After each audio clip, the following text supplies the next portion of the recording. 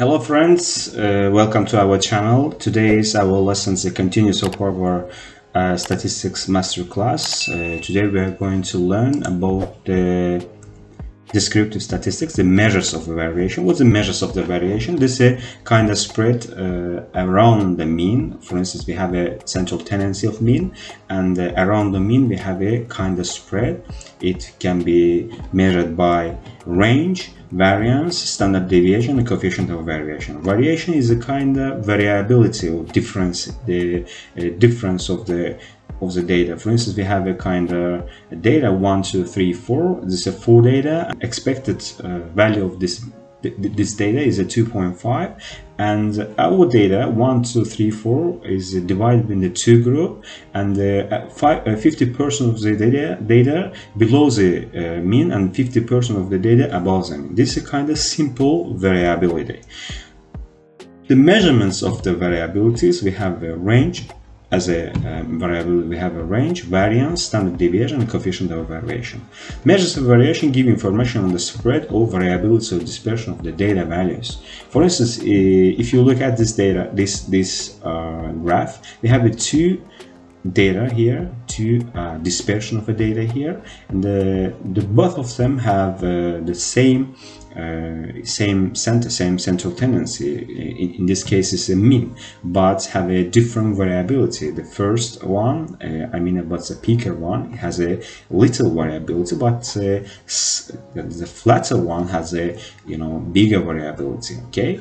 The first me uh, measures of variation is a range. Uh, what's a range? This is simple measures of variation and uh, how we can measure the, uh, the range, a difference between the largest and smallest value.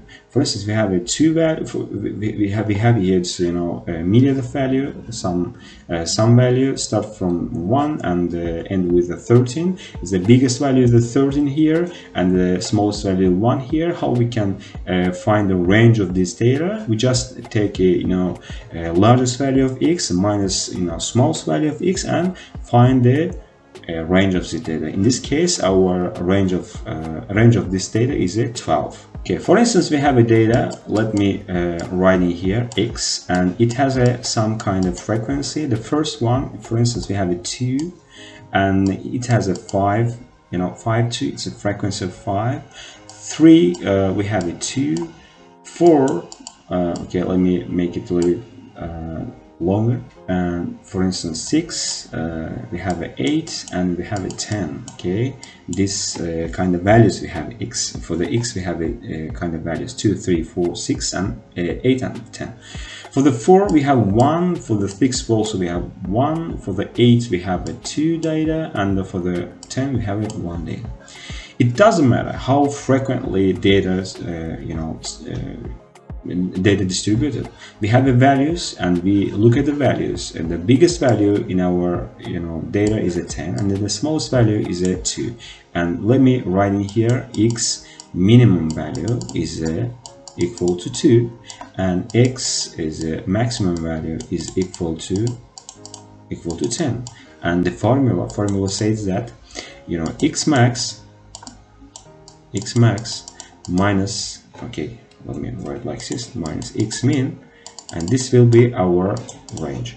In our case 10 okay 10 okay we get 10 minus 2 it will be 8 maybe uh, we have here 10 about 10 or 100 or 1000 it doesn't matter how many data how many you know how, what's the frequency of a 10 or what's the frequency for for instance 15 here and 25 here it doesn't matter. We look at the data. What's the data? Data is uh, the value which uh, our random variable gets and uh, here in, in our case we have a 2 is the smallest value it's a minimum value and 10 is a uh, biggest value. And we just take 10 minus 2 and we have a 8 this is our range of the data. Why the range can be misleading? The first case here ignores the way in which data are distributed. As i explained uh, we look at the data, not the frequency of the data. For instance, if you have a data 7, 8, 9, 10, 11, 12, uh, for any for every data, for every observation, we have a one frequency. Okay, the frequency is one, and uh, range will be 5 and in the right one we have a 1 7 uh, 110 we don't have any 8 and 9 11 1 and 12 uh, 12 uh, we have 312 and uh, despite of this data despite of this distribution we again we have the same data file. Second case is sensitive to outliers. Outliers affect our data.